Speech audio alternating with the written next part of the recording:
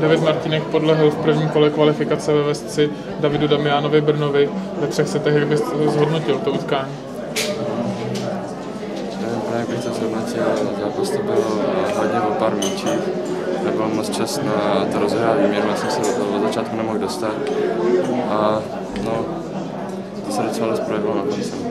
Eh, Hrálo se hodně dlouhých výměn, stálo vás to asi hodně sil, projevilo se to právě i v tom třetím setu. Možná na nohách, ale eh, že by v ruce, to si myslím, že ne. Co jste změnil do druhého setu, který jste dokázal získat? No, a nic moc, opravdu. Takže to bylo ze strany soupeře po levé. A no, spíš to bylo tak, že já jsem vydržel hrát tak, jak jsem potřeboval a nechal jsem jeho, ať udělá ty chyby. Jaké jsou teď vaše další tenisové plány? Asi bude nějaký turnaj tady v Česku a potom uvidím. Děkujeme.